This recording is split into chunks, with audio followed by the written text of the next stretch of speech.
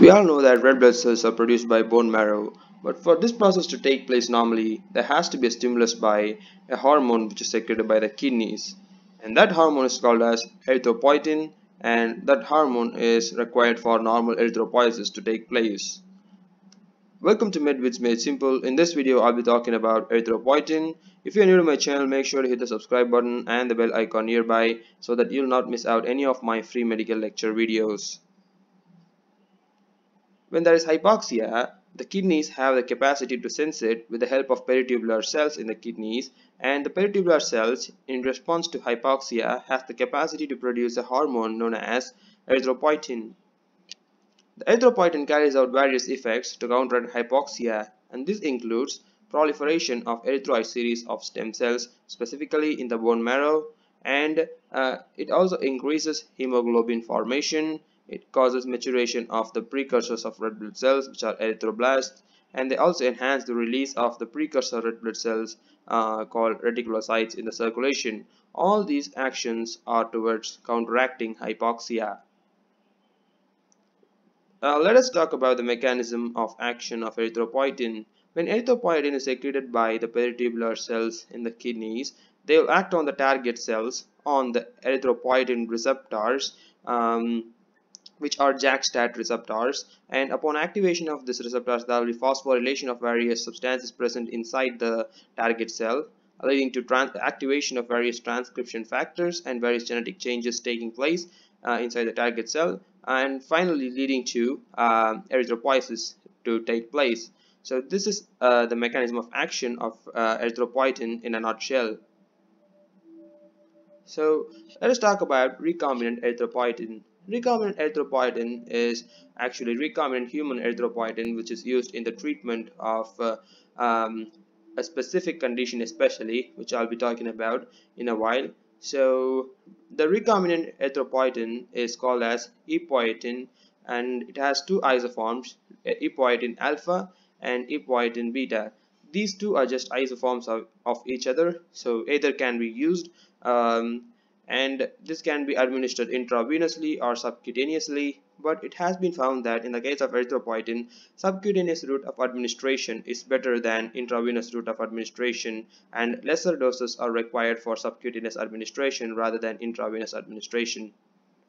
The plasma half-life of uh, epoetin is about 6 to 10 hours but although the half-life is short uh, the, their action lasts for really several days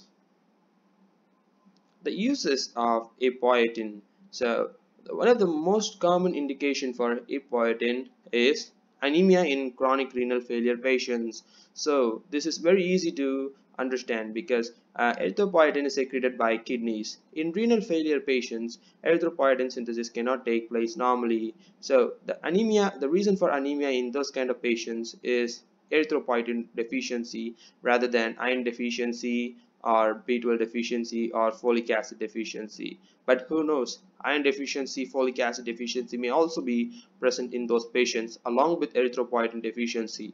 So first erythropoietin has to be administered for these patients to correct anemia.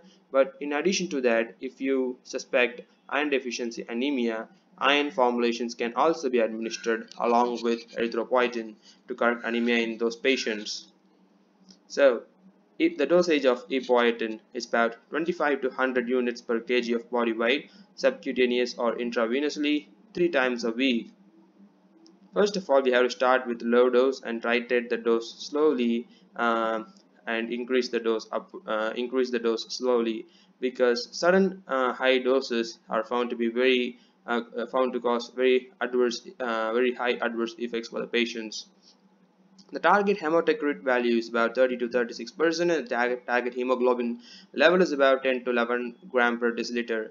The principle here is that the hematocrit and hemoglobin levels should not exceed this levels and it shouldn't reach the normal level all of a sudden with with uh, with erythropoietin therapy.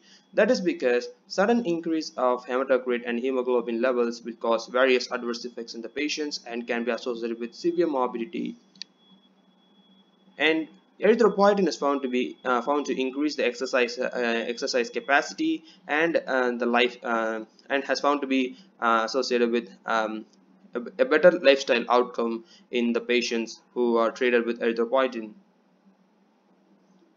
Other uses of erythropoietin includes anemia. It can be used in anemia developed in AIDS patient who are treated with an antiretroviral drug called zidovudine.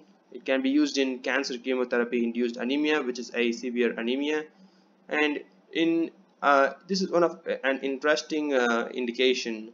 In preoperative patients they can uh, with anemia they can be treated with erythropoietin to quickly replenish their iron stores uh, uh, to quickly increase to, to, to, quickly correct the anemia status so that the hemoglobin levels can be corrected and their blood can be uh, collected during the surgery itself and it can be administered for the patient later after the surgery. And this type of blood transfusion is called as autologous blood transfusion.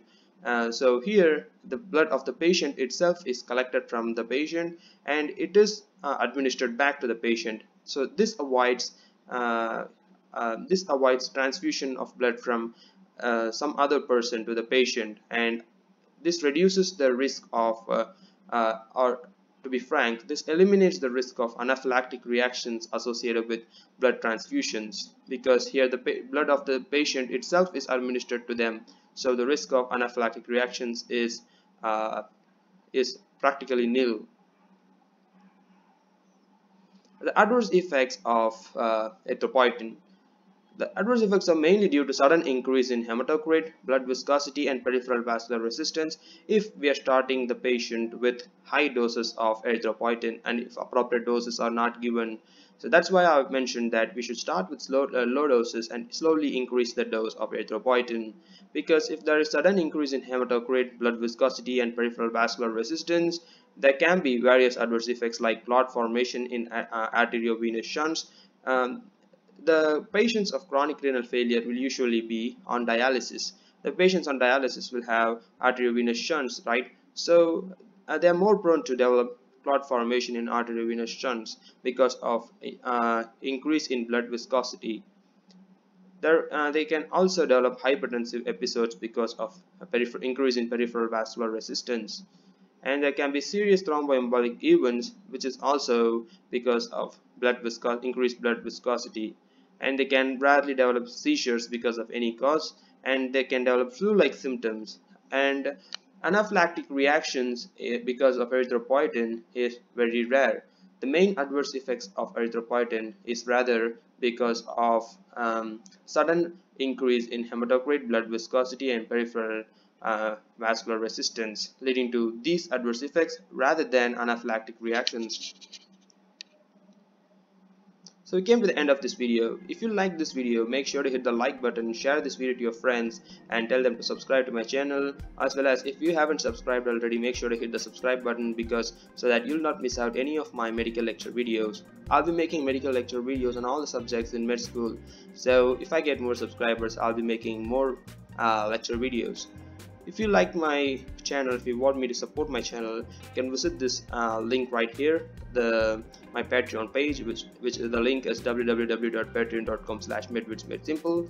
And you can donate uh, any amount if you want to. Um, and uh, thanks for watching. Uh, if you have any doubts make sure to get uh, leave, leave your doubts in the comment section below. And I'll see you in my next video